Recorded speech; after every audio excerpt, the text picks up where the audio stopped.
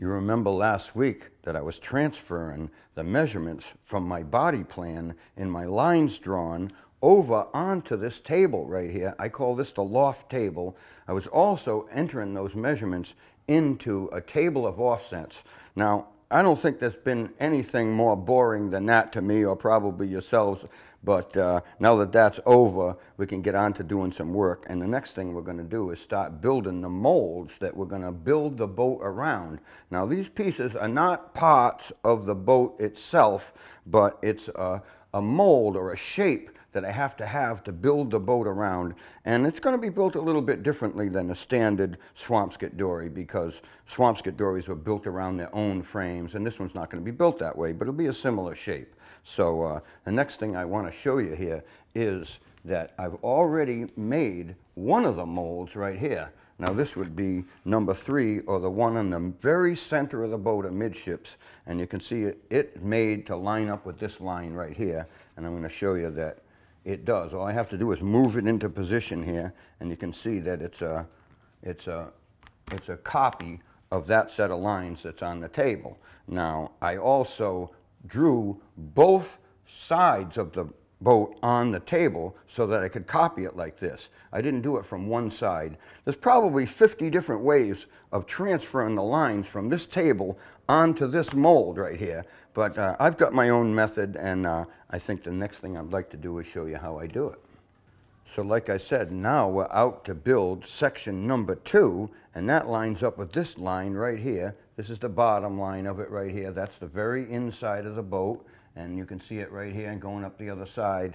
Now the only thing there is here, there's a deduction from this one, an inch and an eighth, so I'm only going to build the mold down to this line right here. And I'm going to explain to you why I'm doing that a little bit later, but it's to bind the bottom of the boat together with a false bottom, so we'll get into that a little bit later, like I said, but this is the first piece we've got to do.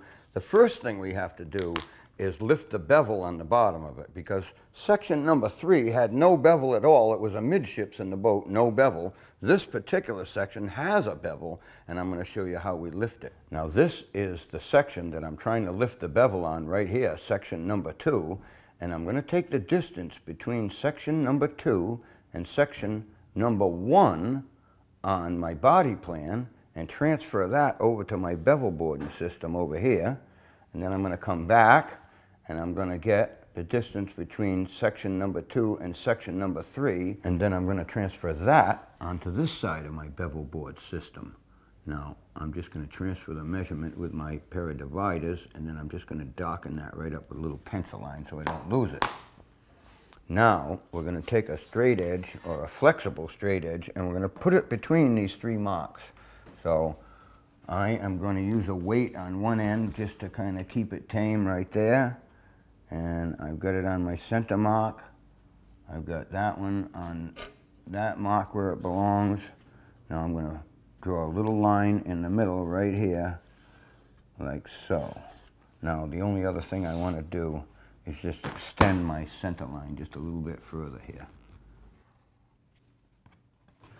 So this right here now is the angle on the bottom of frame number two. And you can tell that I've done it with the bevel board system. This right here is the baseline of the bevel board system, and this is the angle that I drew.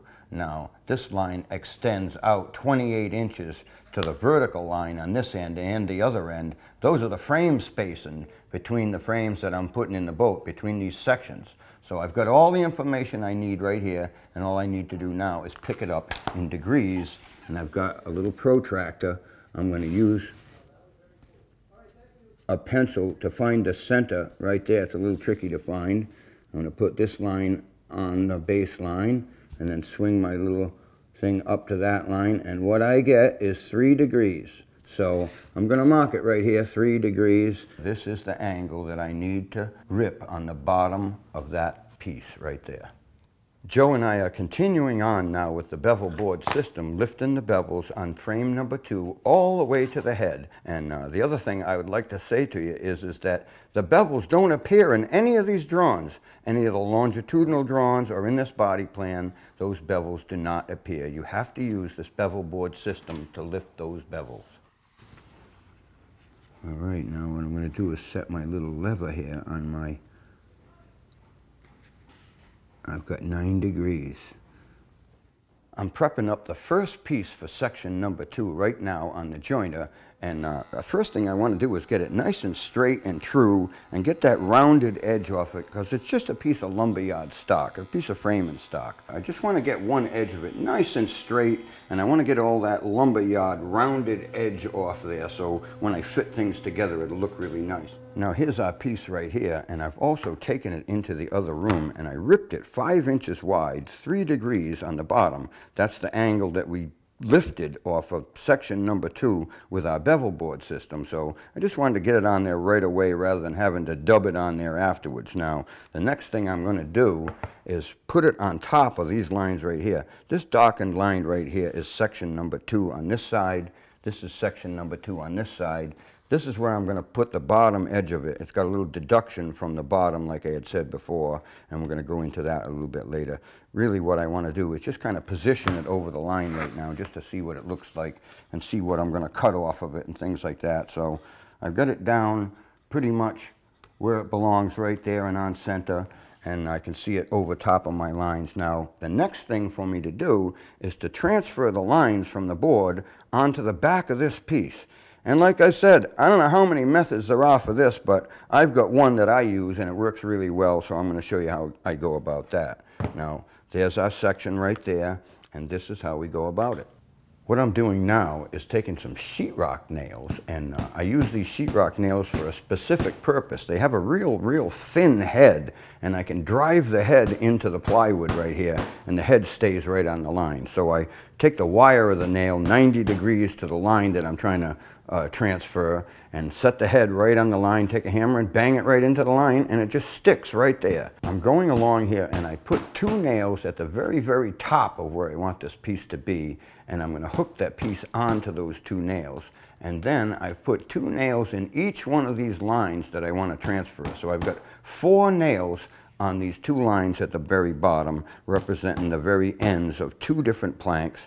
And now I'm going to pick the piece up and I'm going to hook it right on to those nails at the top very patiently without moving anything around like that. Then I'm just going to lay it right down on top of the other nails and when I get it there, now I can apply any kind of pressure that I want. I can either use a clamp or I can just lean on it and bang on it with a hammer or just about anything, but any kind of pressure will transfer the nail heads into this piece of wood and then I can pick it up and connect up the lines. So what I'm going to do is I'm going to hold this nail head right down or this wire. I'm going to lean on it like this with my elbow and then I'm going to take a hammer and I'm going to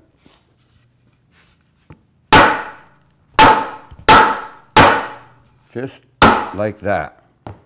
Now I can pick that up and turn it over and you can see that I've got the impression of the nail heads on the very back of this piece of wood. It even picked up one nail right here.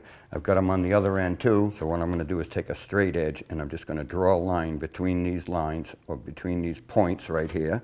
That's exactly the same as it is on the board. And then I'm going to copy down my degrees and go over to the bandsaw and cut it.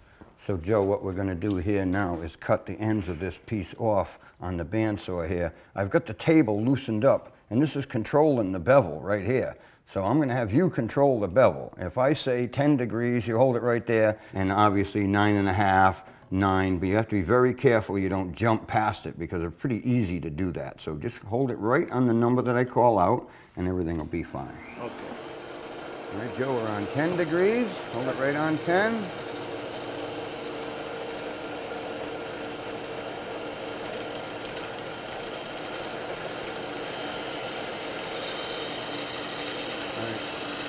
Nine and a half degrees. Nine degrees.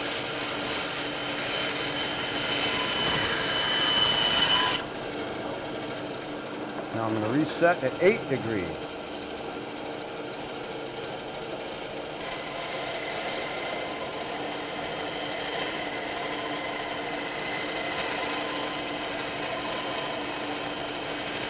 Seven and three quarters.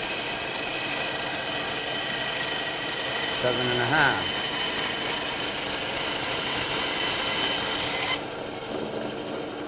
just like that. And here's the piece right here. Now I'm just going to set it right down here and uh, move it into position sort of like that, and that's where it fits. But in order to make it easier for us, what we're going to do is we're going to take some of the nails and put them right back in these spots right here like this, and uh, we'll pull it up against them. Now, I'm going to actually put one all the way up here because really will make it sit nice and still. So, there we go, just like that. I'm going to put two more in. One right here. And one at the top right here. Now we can pull our first piece right up against those nails. We'll put it on center line because we've marked that. Pull it right up against the nails. Look at that. Perfect fit. Let's look at the top nail holes. Yeah, nice. Just the way we wanted it right there. Now, I think the thing to do to really hold it still is to take a nice big clamp like this, clamp it right down to the bench because it's in position, but we want to hold it in position just like that. The clamp just does a great job. And what I'm doing here is spacing it up off the table at the top. Once I've got it sitting where I want it, I can reach right underneath there and draw a nice clean pencil line. Then I'll take it over to the bandsaw and cut that. I might have to fit it a little tiny bit, but once it fits on there just the way I want it, then I'll take it out of place and add the nails into the table right there. And then what I do is carry it right back and fit it right there where it belongs, but it's just hovering over those nails a little bit. And then I put a little pressure on it, pound on it a little bit, so I can just connect up the lines and take it back over to the bandsaw and cut it. And I lift the bevels and add the bevels to the cut. The largest side of it sits down against the table and I can push it up against the nails and get it right in place. And then I'm able to just fasten it to the other piece with a few drywall nails, actually, large drywall nails. The other side is going to be done exactly the same way. I'm going to prop the top end of it up with a scrap piece, get it on the line right where it belongs, draw the bottom piece, cut it off just right and fit it, and make sure it's exactly the way I want it. Then I'm going to lift it up, put the sheetrock nails on the line, hold it down nice and tight. Same exact procedure as the other side. Once I've got that done, I transfer the bevels to it, cut it to bevel, check it out nice and careful, fasten it in position to the bottom. And once I've done that, I kind of tap the whole section up against the nail heads and fit it up really nice and tightly, and make sure it fits everywhere. And then I just transfer the planking lines onto it, because that's really important information to me that I'm not going to lose. The last step is to add a crossbar at the top. And once that's fastened into position, that binds the whole thing together. It'll also be used to line up with the other sections in the jig later on. I'm going to unclamp section number two from the bench here, and we're going to see how we did. Now, let me just put this clamp away, and I'm just going to stand it right up for you here. Now, it's up against the nails the way we built it, and look at that. There it is right there, section number two, at least the perimeter of it. Now, there's some information here I wanted to show you. Here's the bevels that we cut on each end. They are so accurate, it's unbelievable, but they might need a little the tiniest bit of tune-up, and I've sketched on the planking lines, actually, at every corner because I don't want to lose any of that information. This boat was designed on the planking lines, not like most boats designed on buttock lines or water lines. So that information is really important to us. We don't want to lose that. The other thing I wanted to show you is this line right here is actually an inch and an eighth short of the inside of the bottom of the boat. The inside is going to be right down about here. But the reason why I've cut it short like that is that the molds themselves, which is not part of the boat, is going to have a false bottom that's stretched over the top of all the molds. And uh, it's going to provide all kinds of different stuff for us. It's going to provide backing for fastenings in the corner over here. It's also going to stop the molds from moving in any respect, this way or twisting or doing anything like that. And there's a few other real advantages to that, and that is that uh, we'll have the corner all backed up in here for numbers of different reasons. And uh, really the next thing I want to show you uh, is uh, we're going to connect all of these molds together. I'm going to make the rest of them then we have to line them all up with each other properly, connect them all together, put the false bottom on it, and we'll have the molds that we need to build the boat.